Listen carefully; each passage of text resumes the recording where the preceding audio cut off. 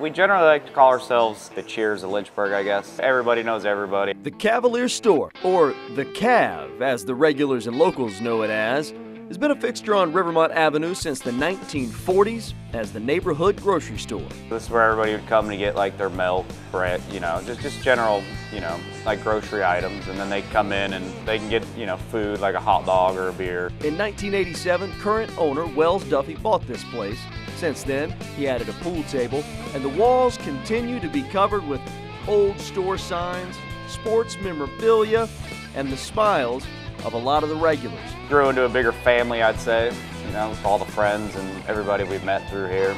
You know, because you see a lot of the same faces just about every day. Take one look up and you notice the ceiling. It's aluminum with hundreds, dare I say thousands, of license plates. Probably took us about 10 years to, to get the roof completed.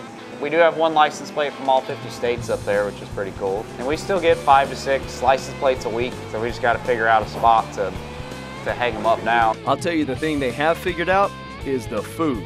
Just good greasy food, man. Manager Jake Hill is serving up a few of the staples here at the Cav. First up, his favorite.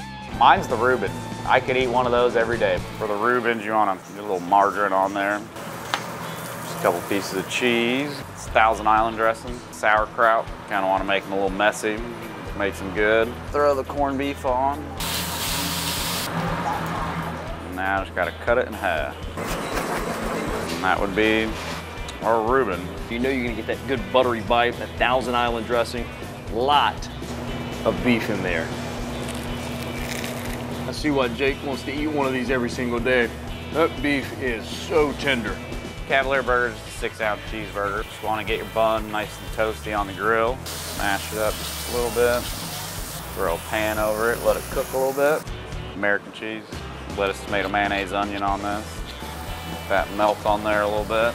So yeah, we'll go throw a little bacon on the burger too. That is our Cavalier Burger with bacon, lettuce, tomato, mayonnaise, onions. It's the first burger I ever had when I came here. It's just as good now as when I had it the first time. No trip to this dive is complete without the seasoned fries with that homemade ranch dressing. Grab some of our fries.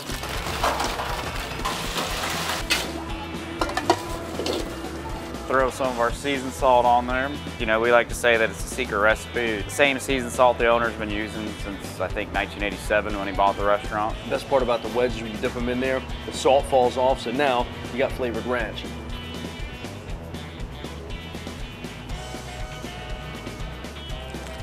That's the move.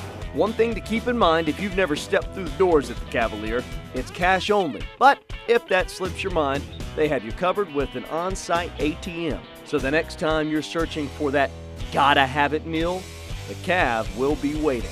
Weather's bad, snow, ice, we're gonna be here, you know, power's out, we're gonna stay open. Open every day, always here for the community. And be sure to leave your mark on the wall. I'll tell you why I decided to sit at this particular booth. I wanted to eat lunch with my wife. Check it out. The Cavalier Store in Lynchburg, a hometown eat where strangers become family.